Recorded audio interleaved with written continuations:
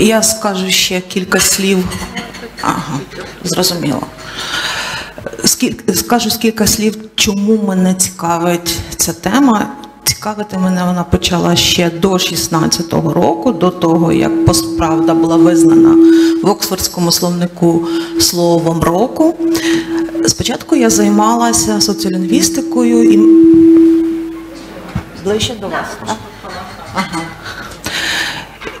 І досліджувала ключові слова поточного моменту. Я побачила, що ними можна дуже сильно маніпулювати, а потім сталося так, що з кожним роком, як ви знаєте, збільшується кількість інформації, і е, потонути у цьому обсязі е, стало реально. За півгодини ми, звісно, не зможемо розібратися у тому, ігнорувати нам у силу того, що ми відчуваємо себе інколи краплиною у морі і не діяти, тобто перейматися собою і своїм порятунком власним, чи все ж таки я знаю, що тут люди, які будуть формувати інформаційний контент на найближчий час, чи все ж таки ігнорувати не можна і потрібно діяти. Мені здається, що це не наступний кадр. Ем, на жаль, лунають такі речі, що фактів більше не існує. Джон Кейн сказав, що якщо факти змінюються, я змінюю свою думку. Але так чинять на превеликий жаль в сучасному світі одиниці. Найбільше мене налякали слова Харарі, який сказав, що об'єктивну реальність можна хакнути, і що ми живемо у світі, який намагається нас з вами хакнути. Я хотіла, щоб ми з вами разом з'ясували походження ем, цього феномену. Говорити про те, що е, ми зіштовхнулися з чимось абсолютно новим, ми не можемо. Деякі вчені говорять, що е, такі епохи, які сьогодні називаються епохою посправди, вони в історії існували циклічно. Тобто е, правда нівелювалася, потім правда набувала більшої цінності. І так було кілька разів. Але я думаю, що ви можете зі мною посперечатися, я буду задоволена із дискусії, але все ж таки певна особливість і ем, певні ознаки е, в сучасному світі абсолютно нові. Більшість людей зараз намагаються жити у віртуальній реальності. Віртуальна реальність вона красивіша, вона ідеальніша, вона досконаліша, і всі ми до цього прагнемо. Як часто ви зазираєте за вікно, щоб зрозуміти, яка на вулиці погода? Ні, ми йдемо, дивимося. Ще, ще, да? Ми дивимося в телефон для того, щоб нам повідомили звідти, яка ж у нас погода. Дуже часто ми дізнаємося про те, що акація в Одесі розквітла із засобів масової інформації, а не тому, що ми підняли голову від телефона і побачили це на власні очі. Мені було б дуже цікаво поговорити з вами про те, які причини саме ви вбачаєте у появі того поняття, яке називається пост.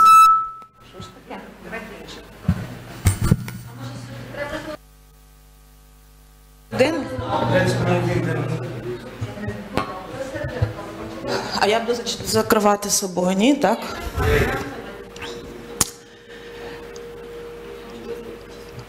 Є такі думки, що е, нас зараз переконують у тому, в чому хочуть переконати. Георгій Почіпсов говорить про те, що сьогодні неправдива інформація, вона набагато красивіша, на неї витрачається більше е, зусилля для того, щоб її поширити, надати їй е, обгортку яскраву для того, щоб її точно е, споживали.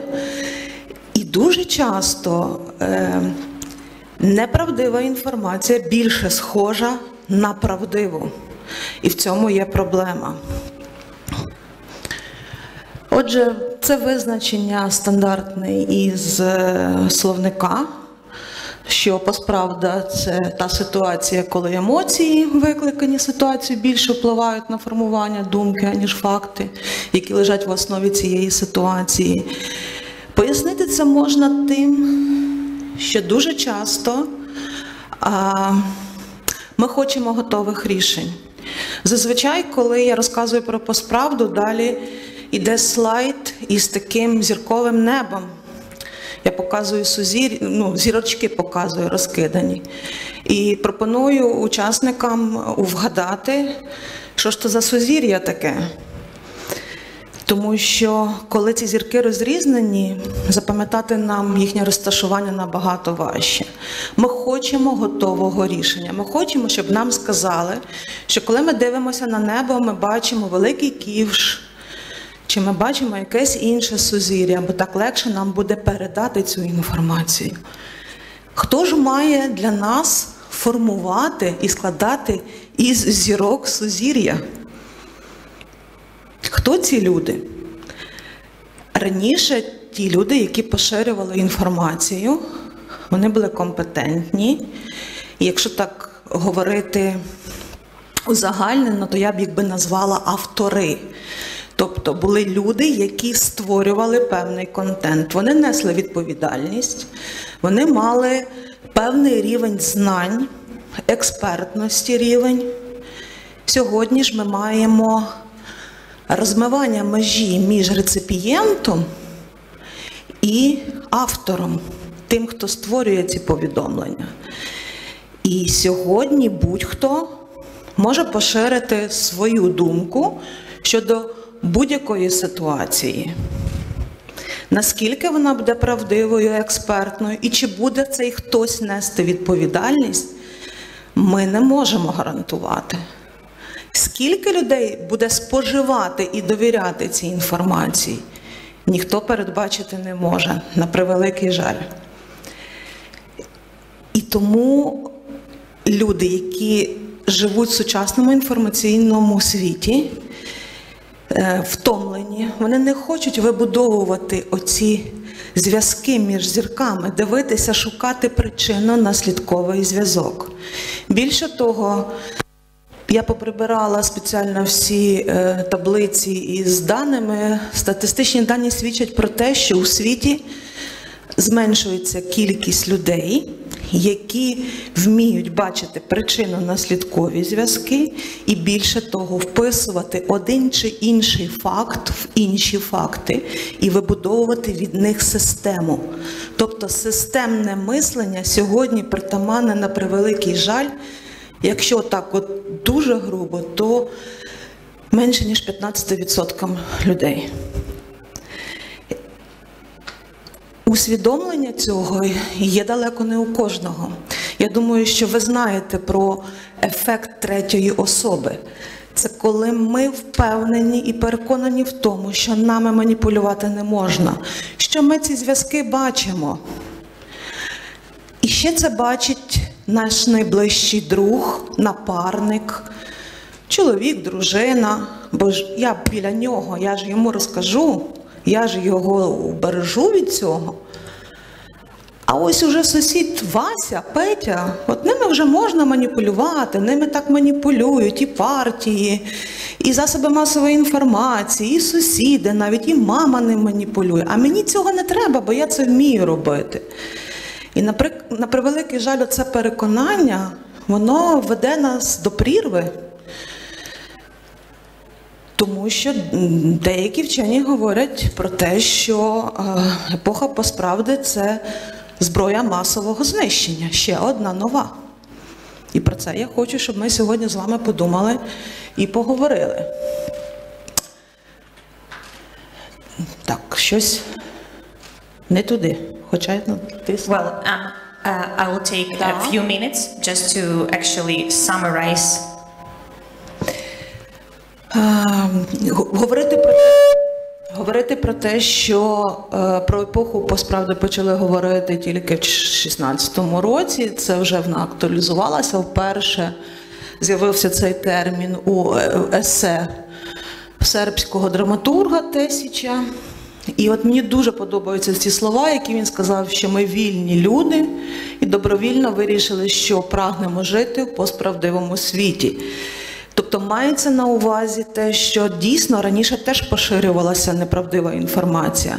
Але коли з'являлася правдива інформація, то той, хто поширював неправдиву, він ніс певну відповідальність і втрати репутаційні, перш за все.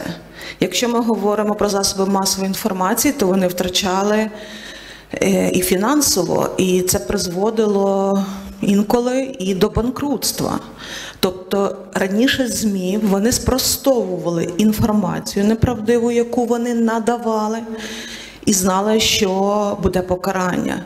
В епоху посправди спростування неправдивої інформації призводить до ще одного кому, який збільшує охоплення людей, які дізнаються цю інформацію.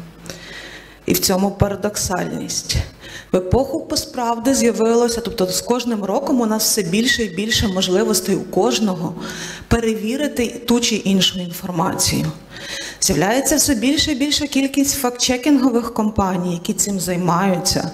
Відділи в засобах масової інформації, які верифікують інформацію, вони збільшуються. Але і кількість неправдивої інформації також збільшується. Чи не парадокс на вашу думку? Повертаючись до ідеї про те, що сьогодні кожен може поширити ту чи іншу інформацію, залежно від того, наскільки вона буде емоційно забарвлена, наскільки вона буде затребувана у людей, вона знайде більший відгук. Тому що важко впихнути в свою картину світу те, що туди не гармонійно заходить. Для цього треба докладати своїх зусиль, зайвих зусиль. Легше взяти те, що вже у вас є, зв'язки ви вже знайшли, і знайти людину, яка їх підтверджує. Неважливо, що це за людина буде, чи експертна вона у тій чи іншій галузі, чи ні. Якби в нас було більше часу, ми б змогли провести з вами експеримент. Я знаю, що от в IREX і таких експериментів не люблять, але він дуже показовий. Я, запропоную, я пропоную часто е, учасникам тренінгу поширити зі своєї сторінки якусь інформацію, яка абсолютно суперечить їхнім цінностям і пріоритетам. І подивитися, наскільки їхня аудиторія відреагує чи не відреагує на це повідомлення. Я говорю про ефект ехокамери, про те, що в соціальних мережах, який би контент ви, як майбутні ютубери чи вже ютубери, які вже працюють з контентом, не створили. Ви завжди, навіть найбільшу маячню, яку ви поширите, ви знайдете людей, прихильників тієї чи іншої теорії. Ви знайдете тих людей, які скажуть: О, молодець! Навіть якщо це буде суперечити тому, про що ви говорили в попередніх своїх матеріалах. Тобто вас будуть вітати з тим, що ви змінили думку, або ось я так і знав, що ти будеш скоро на нашому боці. Люди сьогодні ведуть себе дуже часто як футбольні вболівальники. Коли не об'єктивність вирішує, хто кращий, а те, як голосно ми будемо захищати свою команду. В 2004 році, тобто я наводжу приклади того, що про посправду говорили до 16-го, тобто вона масово почала обговорюватися тільки в 16-му.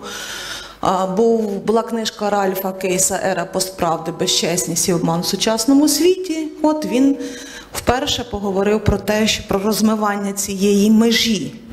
І, ці, і ви будете праві, коли ви скажете, що Згадайте, наприклад, українське прислів'я про те, що правда в кожного своя, і що їх декілька може бути. Але сьогодні ми не будемо про це. Межа дійсно розмита, е, але б суспільство не вижило в інших би умовах. Якби ми не домовлялися, не доходили компромісу про те, що ж вважати правдою. Але в українській мові є ще слово істина, яка може нас примирити. Трамп і епоха постправди теж є е, таке дослідження в 17-му році. Воно вже підсумовує, е, мабуть, вибух такий е, поширення фейкових новин- які пов'язують перш за все, ви знаєте, із виборами Трампа. Я не буду на цьому зупинятися. Я думаю, що ви всі чудово пам'ятаєте нові терміни, які з'явилися. Тобто правдивіша інформація, менш правдива інформація, знаєте, така трішки вагітна, не? Ось, або альтернативний факт. Ось у книгі е, Лі Макінтайнера Постправда, яка вийшла е, в Україні цього року, наводиться чудовий діалог. Він мені дуже подобається. Я його зазвичай зачитую, і ви, як захочете, ви можете його прочитати. Е, Коли заступник Трампа спілкувався із журналісткою CNN е, про те, що чи збільшилася кількість е, вбивств в Сполучених Штатах Америки. Тобто факти говорили про те, що вони зменшилися в такі злочини серйозні. А ось помічник Трампа стверджував, що якщо ви вийдете на вулицю і запитаєте людей, то всі люди глибоко переконані в тому, що вони збільшилися. Я думаю, що е, хто з нашої країни, то вони одразу розуміють і згадують, проводять аналогії про вакцинацію. Да? Я думаю, що сьогодні це у нас дуже актуально. Світлана, дайте мені можливість швиденько нашим ін- іноземним спікерам так само розказати. So the very short summary actually of what uh, has been told uh, just right now. So we are talking about the post-truth and uh, the facts do not exist anymore. Svetlana says, and if the fact is changing, so we change our own opinion as well. And uh, actually she told that post-truth episode uh, is been cycling in human history all the time. And people are trying to live in virtual reality because it looks like better and more fascinating, more fashionable. That's why facts, facts can be distorted all the time. Very often fakes look like truth. That's why it's very hard to fight them. Emotions rules us more than facts. And actually, uh, the people are built in the way that we would like to inbuild the new facts into our reality. Earlier, people were sharing information, uh, who were sharing information were more professional. Now, everyone shares information. That's why there are lots of mistakes, fakes, and so on and so forth. And post truth era is the weaponry of mass destruction, Svetlana says. Okay. Так, як зробити, щоб Просто біля напроти колонки не стійте. Тобто або максимально сюди, Давайте, максимально сюди буду. То ще кілька визначень е, постправди, які я хотіла зазвичай, щоб ми обговорювали, наскільки ви згодні з ними. Але мені здається, що наступним етапом правильніше буде обговорити, як ви вважаєте, які причини є появи оцього нового явища, яке вчені називають постправдою, тому що воно найостанніше на позначення нашого суспільства. Хтось говорить, що ми живемо е, в інформаційному суспільстві, в суспільстві споживацьких е, інтересів. е, Як тільки це суспільство не називається, і зараз називається це суспільство постправди. Я б хотіла почути ваші версії для того, щоб. Для того, щоб ми могли протистояти постправді, ми маємо зрозуміти її генезу. Чи є у вас якісь думки з цього приводу? Давайте, мені буде цікаво. Е, Я завжди це пов'язувала насправді з виборами і з політичними е, історіями, в тому сенсі, що е, чим далі, тим більше е, різноманітні політичні сили вони насправді зацікавлені в тому, щоб їхні електорати були максимально поляризовані. І для того, щоб їх поляризувати, найпростішим інструментом переконання для свого боку це є викривлювати інформацію так, щоб вона не навіть не не тільки пояснювала їхню сторону, а ще й максимально оп- опонувала протилежній. І це допомагає розвести електорат, накрутити його і тим самим зберегти те ядро. Чи можу я сказати, що соціальні мережі, які створювалися для того, щоб нас з вами об'єднати, дати нам можливість покомунікувати одне з одним, вони нас розвели навпаки у різні кімнати, де ми ось е, варимося у своїй юшці і дуже часто не бачимо е, нічого, що відбувається за нею. Тобто створення таких інформаційних бульбашок, про які вже багато говорили, так і. Коли в 2007 році з'явився цей термін, то е, ця інформаційна бульбашка передбачалася, що вона прозора. Тобто ми не все до нас до нас не все доходить. Те, що е, відбувається поза межами цієї інформаційної бульбашки, воно так як фоном доходить до нас. Да? Ніби ми ось. Але ми бачимо тих людей, які е, мають іншу думку.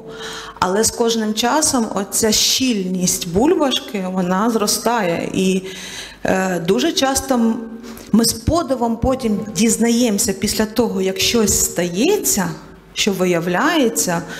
а, для нас це несподіванка для великої кількості людей, це закономірність. Е, Мені здається, що ще однією причиною, про яку говорять вчені в всьому світі, це є е, втрата довіри до науки і освіти. І в нашій країні це набуло якогось неймовірного розмаху, як на мене. Так? Тобто вищі навчальні заклади дискредитовані на превеликий жаль е, із засобами масової інформації, зокрема. Також, на мою думку, є ще думки з цього приводу? Так, будь ласка. Е, Це питання стосовно освіти вищої. Ну, чому вона дискредитована? Здебільшого вона дискредитувала себе сама. Ну, Не потрібно було там засобів масової інформації. Не Це мій досвід особистий. Я навчалась в медичному вузі, це взагалі чудо в Україні. Я думаю, люди, які дотичні коли-небудь, то можуть собі уявити, як відбувається в нас така освіта. Е, Якщо ми говоримо. е, що нас роз'єднало в соцмережах, теж ми самі. Ну, це я думаю, тут багато є людей зараз, які роблять таку штуку, як unfriend і unfollow, коли тобі не подобається інформація, яку поширює та людина. Е, І тому ми теж цю бульбашку самі закриваємо. Тому ми можемо дуже багато шукати причин зовні. Але в першу чергу я би все-таки глянула на те, що кожен з нас робить і своєю інфопростором, і своєю освітою, і своєю комунікацією. А вже тоді дивитися, як- які там є впливи ззовні, що вони додають.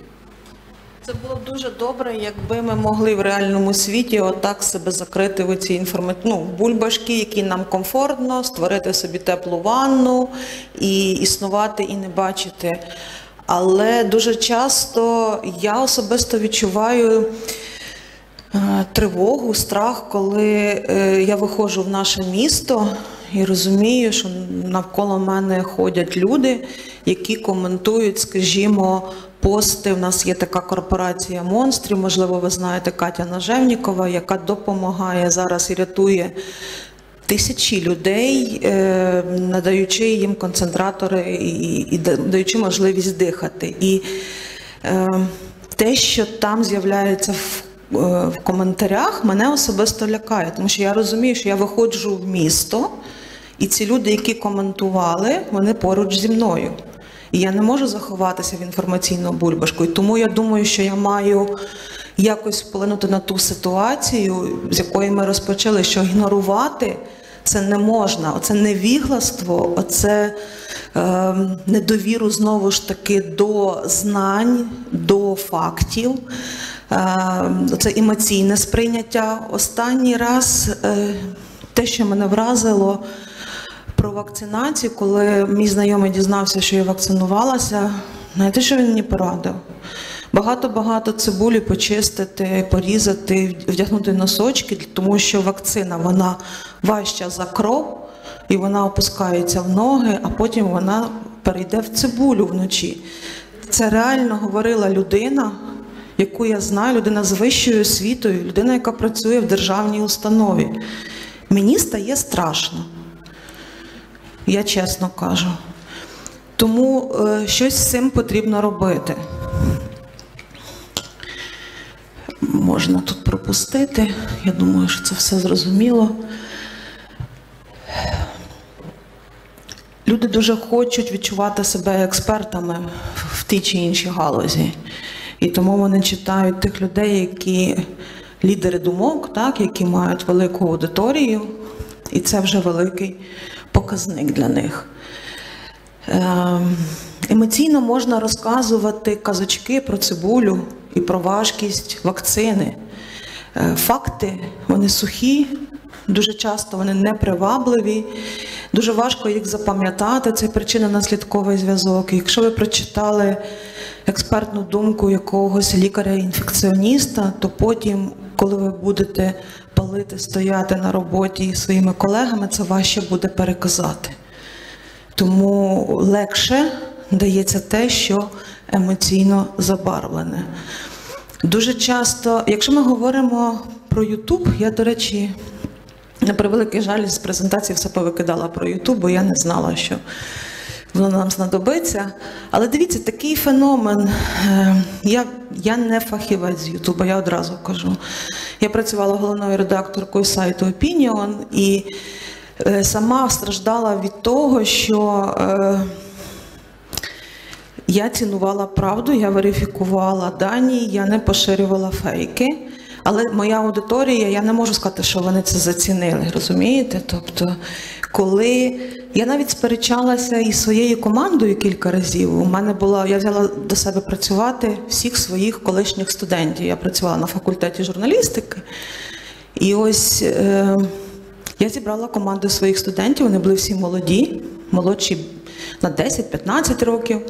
І ось вони мені говорили, що треба поширити цю інформацію. Ну ви ж бачите, що вона брехлива. Вони кажуть, так вони ж нам дадуть перегляди. Розумієте? Тобто, ну звісно, ми зберемо і нам звітувати треба перед інвестором чим? Переглядами, тим, що нас читають. Тобто такі дискусії в нас тривали. І більше того, вони мені пропонували варіант написати, що ось ми поширюємо цю інформацію. Але на нашу думку, да, там вона може не відповідати дійсності. І так роблять багато засобів масової інформації. Я пишаюся тим, наприклад, що ми в той час не поширили декілька таких пліток, які поширили всі або майже всі центральні ЗМІ. Але хто це оцінив? Я, я не доотримувала показники в кінці місяця. Тому е, я повертаюся до того, що я хотіла сказати, що я працювала в традиційному ЗМІ. Ми перевіряли факти, ми верифікували і ми не поширювали фейки. Е, навмисно в нас от, хочу зазначити, що буває поширення неправдивої інформації ненавмисно, коли не допрацювали, помилилися і тоді виправили. Мені здається, що теж треба розрізняти цю інформацію. Про це теж можна говорити годинами, а я вже зрозуміла так. Але ми не будемо про це говорити. Я тоді перейду зараз. Ви знаєте, що це за, за, за жіночка, дівчина? Не знаєте? У неї 180 мільйонів підписників у всіх соцмережах. Це Нікі Мінаш. Я про неї дізналася тільки у зв'язку з останнім скандалом, який стався. Тобто, мені здається, що такий приклад е, того, про що ми з вами сьогодні говорили. Коли твіт людини, яка займається музикою, я не буду оцінювати зараз, Боже борони, її музичні здібності, нехай це роблять експерти. Всі знають, яка ситуація сталася, чи, чи розказати? Да. Тобто, ви, що мене вразило в цій ситуації найбільше? Ну, по-перше, кількість підписників у неї збільшилась. Так? Тобто вона стала ще популярніша.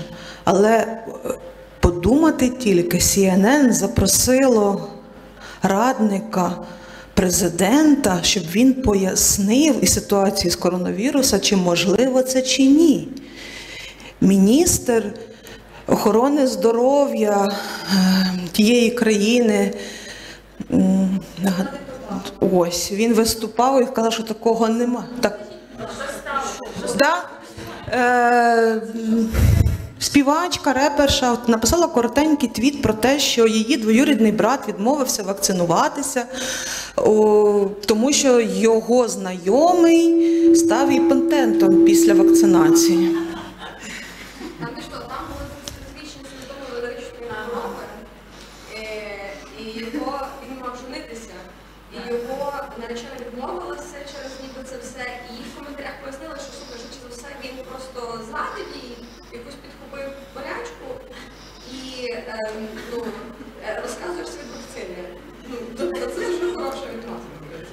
Це хороший приклад того, що вона змусила виправдовуватися величезну кількість можновладців щодо того, що вона написала. Причому уже після того, коли їй наводили факти, що нема ні такої людини, да, таких наслідків і так далі, вона сказала, що вона залишається при своїй думці. І що просто від нас усіх приховують правду, тому що всесвітня змова і так далі. А треба було просто цибулі, і все було б добре. Тобто це такий гарячий яскравий приклад того, що ми маємо в наслідку. Я ще хотіла ще один приклад показати. Я не знаю, він запуститься чи ні. Ні, мабуть? Да? Ладно. Ой, це вже все.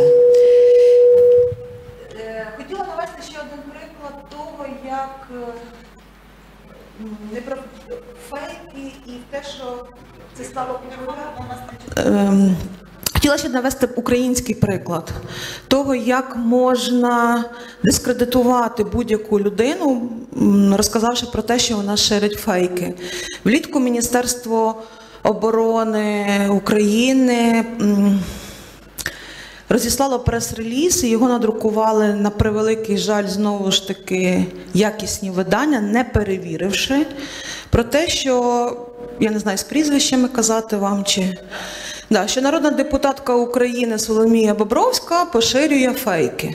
Ну і ви розумієте, да? десь хтось із ЗМІ підійшов зважено і подали це повний, повну картину. Хтось уже спростив для своїх читачів, і там в результаті вже ви розумієте, до чого ми дійшли, як оце в поламаному телефоні в грі. Е, вона виклала відео. Воно в мене є, я можу потім скинути, щоб ви його подивилися. Про те, чим годують е, солдатів е, і на фронті. Вона, вона воює із Міністерством оборони щодо харчування. Тобто вона неодноразово показувала фотокартки з м'ясом, де є хробаки. В цьому відео було в супі такий тарган потрапив. Ось. І Міністерство оборони сказало, що це фейк. е, Ви там побачите, як вони це спростовували все. Ну, це було просто смішно, тому що е, є відео, є люди, які його знімали, і є люди, які кажуть, що так дійсно, отой хробак його назвали. Що це за хробак? Він може потрапити у рибні консерви. Тобто таке трапляється ось е, в індустрії. Але ні, засоби масової інформації. Це, це ж цікавіше, що ось депутатка поширює фейки, ніж депутатка бореться із. е, монополістами, які охопили, захопили е, цю сферу. Спростовувати такі речі це собі дорожче. Тобто я знаю, що команда е, депутатки думала, як з цим працювати, і вирішили, що вони не будуть. Тобто вони спростували на своїй сторінці, більше ні. Тобто ні позовів до суду не було, ні доказової бази. Тому е, ми всі знаходимося на полі бою. І нам всім треба знати, як, е, як з цим боротися, що з цим робити. Бо мені, ну, мені це все нагадує, що ми летимо з якоїсь такої високої гори в таку велику-велику прірву. Ще багато вам хотіла розказати, але час, на жаль.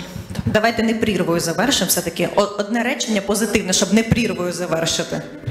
Я- Я рада з сьогоднішньої зустрічі. Я знаю, що тут є і експерти. Я бачу своїх колег, які борються із цим явищем. І я сподіваюся на те, що той контент, який ви будете створювати, ви будете його перевіряти, верифікувати, навіть розуміючи, що можливо ви зберете меншу кількість переглядів, і ваш шлях до е, дорогої реклами буде довшим. Але я дуже вас би про це просила, тому що ми маємо нести відповідальність. Тому ігнорувати це явище не можна. Дякую вам за увагу. Дякую дуже.